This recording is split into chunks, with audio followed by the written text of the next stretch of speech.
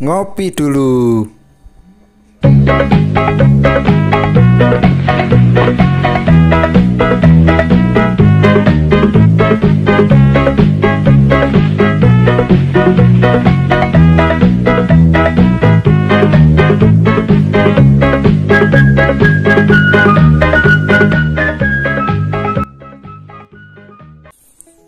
Halo, assalamualaikum warahmatullahi wabarakatuh.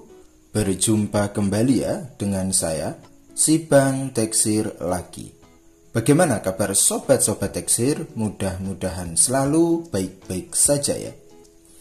Oke, di konten kali ini kita akan belajar bersama lagi ya sobat-sobat semua seputar eksekusi-eksekusi software jika yang memang bisa menggunakan gratisan ya kita belajar menggunakan gratisan ya. Kalau memang tidak bisa ya apa salahnya? Karena memang tidak bisa. Nah, di konten kali ini ada masuk uh, Vivo V7 ya, sobat-sobat semua dan ini kendalanya itu boot loop. Jadi kalau kita nyalakan dia hanya menteleng saja di logo ya sobat-sobat semua. Nah seperti ini ya. Hanya seperti ini saja. Sampai pagi. Kronologinya gagal update. Dan Vivo V7 ini itu sudah berchipset Qualcomm. Jadi kita akan melakukan step by step ya menggunakan tool gratisan pada konten kali ini.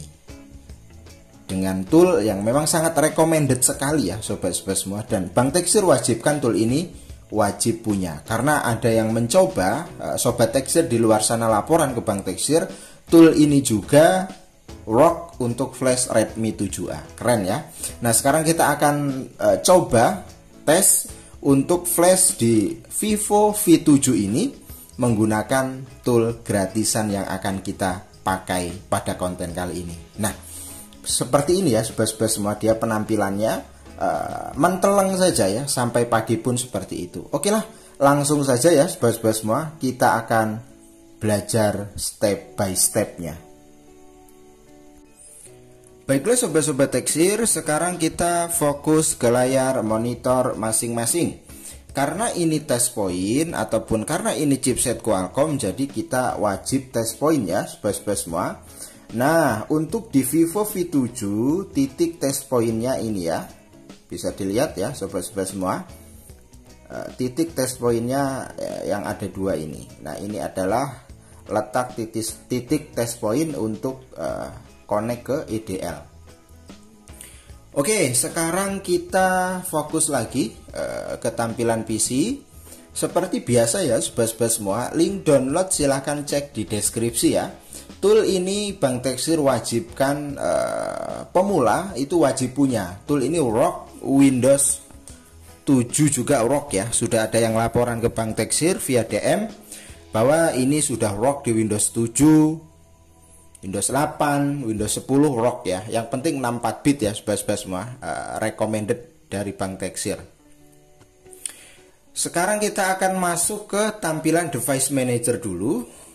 Tujuannya kita akan test point ya, sobat-sobat semua. Nah, untuk test point, fleksibel baterai boleh ya, dicopot boleh, mau dipasang boleh. Yang penting connect saja. Kalau dipasang baterai uh, nggak connect atau susah connect, pada saat test point ya sobat-sobat semua tinggal copot saja baterainya ya. Nah ini kita hubungkan kedua titik test pointnya lalu kita colok USB sambil perhatikan di device manager ya. Nah ini sudah tampil ya sobat-sobat semua. Untuk driver Qualcomm. Bagi yang belum terinstall driver Qualcomm uh, silahkan install ya sobat-sobat semua. Jangan sampai lupa karena nggak akan mungkin connect ya Driver adalah penunjang kesuksesan ketika eksekusi software ya sesuai chipset. Nah, ini sudah tampil. Lalu sobat-sobat semua buka tool yang sangat amazing sekali untuk chipset Qualcomm yaitu MCT Xiaomi Account Bypass Tool. Tool ini sudah Bang Teksir review, sudah Bang Teksir uji juga ya. Sudah Bang Teksir uh, analisa lalu sudah lulus uji juga bahkan sudah dites untuk Redmi 7 itu down ya sobat-sobat semua Nah, langsung saja karena di sini kita butuhnya eksekusi flash, kita klik di bagian tabel flash ini ya, sobat-sobat semua. Lalu untuk brandnya kita pilih Vivo tentunya. Nah, ini ya, kita pilih Vivo, lalu modelnya kita pilih V7 ya. Untuk uh, link download firmware nanti silahkan sobat-sobat semua cek deskripsi ya. Nah ini ya sobat-sobat semua V7 PD1718F yang ini V7 PD1718F. Lalu sobat-sobat semua klik di bagian raw program ini ya. Kita klik dua kali. Nah seperti ini. Arahkan di mana sobat-sobat semua download firmware ya. Lalu sobat-sobat semua cari partisi yang namanya raw program unspers ini ya. Ini kan raw program banyak tuh ke bawah ya. Pilih yang ini nih, pahami baik-baik. Raw program underscore unspers ini ya. Kita klik, lalu kita klik open. Nah, semua partisi terload ya. Lalu partnya ini dia auto ya. Kalau untuk memastikan ya boleh kita klik dua kali dan dipastikan part 0 ini ya kita yang pilih. Nah, kalau sudah tampilan seperti ini, langsung saja kita klik bagian flash ya, space-space semua. Nah, biarkan uh, toolnya bekerja ya. Proses ini itu membutuhkan waktu kurang lebihnya 30 menit sobat-sobat semua. Jadi ini kan ada dua bar nih berjalan ya semua. Nah, yang bawah ini wajib sampai full ya ke samping. Jadi Bang Teksir sudah uh, bereksperimen ya. Itu dia memakan waktu 30 menit. nah, ini kan sudah mulai berjalan ya. Ya wajar lah yang namanya gratisan ya. Kalau uh, tool yang memang original dalam arti ya sudah codingan yang sudah bagus itu nggak sampai segitu karena ini mungkin metodenya metode lama ya setiap partisi di write secara manual jadi memakan waktu kurang lebih 30 menit ya untuk mempersingkat waktu ya sobat-sobat semua. Nah, ini kan sudah berjalan nih ya statusnya. Nah, ini barnya juga sudah berjalan. Jadi bar yang bawah ini dipastikan sampai 100% mentok ya ke kanan. Ini kan separuh saja belum. Kurang lebih 30 menit lah. Ini semua partisi terwrite semua. Jadi untuk mempersingkat waktu karena nunggu 30 menit itu kan lumayan lama ya. Jadi Bang Teksir percepat saja ya sobat-sobat semua. Kita tunggu sambil ngopi tentunya.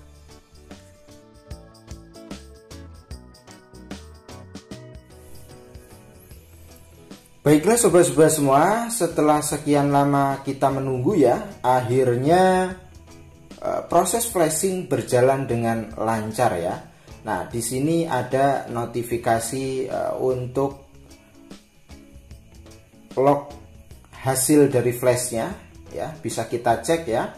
Dipastikan tidak ada yang error ya, sobat-sobat semua. Nah, ini kan banyak sekali partisi ya, sobat-sobat semua. Bisa dilihat ya dari awal sampai akhir itu setiap partisi di write secara bergantian ya tentunya. Dan memakan waktu 30 menit 51 detik sobat-sobat semua. Ini perjalanan ngeflash paling lama ini kalau pakai ibaratnya pakai Hydra ataupun pakai uh, eh, EMT ya itu nggak selama ini. Ya tapi tidak masalah lama ya sebas-bas yang terpenting kan work it. Nah itu kan tidak aktivasi juga ya. Oke lah sekarang kita akan buktikan bersama-sama ya sebas-bas semua. Karena ini memang hasil dari uh, flashingnya itu berjalan lancar jaya membahana ya Baiklah sobat-sobat teksir karena ini eksekusi flashnya sudah selesai jadi kita langsung saja cabut ya sobat-sobat semua. Lalu kita pasang kembali uh, fleksibel baterainya. Jadi boleh ya test point tanpa baterai itu boleh.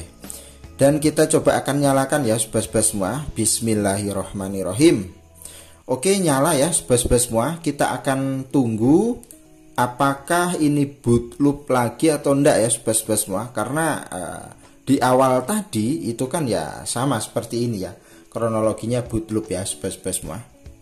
Jadi kita tunggu saja uh, mudah-mudahan ada perubahan ya dia mau setup ketampilan menu. Dan proses ini biasanya ya lumayan lama. Jadi kita tunggu pelan-pelan sambil ngopi sambil rokokan lagi tentunya ya Oke, dan akhirnya mantap jiwa membahana ya, sobat-sobat semua. Uh, perjuangan panjang ya, dan alhamdulillah membuahkan hasil yang sangat memuaskan ya. HP Vivo pun bangkit kembali ya, sobat-sobat semua. Hanya menggunakan metode gratisan saja tentunya. Kalau sudah seperti ini, ya kita tinggal setup saja ya tentunya seperti biasa, untuk bahasa kita pilih bahasa NKRI ya. Kita klik berikutnya, kita klik setujui. Lalu ini kita klik lewati. Lewati saja tidak apa-apa ya, sebab semua. Dan dipastikan ini juga sudah clean dengan FRP ya. Ini kita klik berikutnya. Ini kita klik lewati. Berikutnya gunakan sekarang ya, sebab semua. Sangat amazing sekali tentunya. Dan Bang Texir sangat rekomendasikan ya tool ini untuk membantu eksekusi uh, urusan Qualcomm. Nah, pakailah tool ini ya untuk menunjang uh, ke depannya untuk eksekusi-eksekusi Qualcomm itu recommended ya dan memang tested. Tentu jangan dijadikan ini sebagai tool andalan karena yang namanya gratisan ya tetap saja gratis nggak ada update dan Bakteksir selalu mengingatkan ya hasil cuan dari tool gratisan itu silahkan ditabung. Niatkan benar-benar dari hati ya untuk uh, ke depannya itu bisa aktivasi tool yang memang setiap harinya update ya sobat-sobat semua. Ya seperti unlock tool ya. Lalu uh, eh, EMT itu memang tool-tool recommended saat ini ya sobat-sobat semua Nah ini dipastikan mantap jiwa membahana ya Setelah kita flash hal yang pertama kali kita lakukan adalah cek email. Dan email pun mantap jiwa membahana. Oke dipastikan ini nota ya sobat-sobat semua. Silahkan download toolnya ikuti step by stepnya. Mudah-mudahan diberikan pemahaman ya untuk firmware-nya gratis. Silahkan download ya semua gratis. Tool gratis, firmware tested gratis, tutorial gratis ya. Hanya modal kuota saja dan jangan lupa jika bermanfaat channel-channel Bang Teksir dan Teknisi Musafir jangan lupa subscribe ya sobat-sobat semua. Sampai berjumpa lagi di konten berikutnya. Kurang dan lebihnya Bang Teksir mohon maaf. Untuk pemula tetap semangat ya. Ojo lali ngopi. Assalamualaikum warahmatullahi wabarakatuh.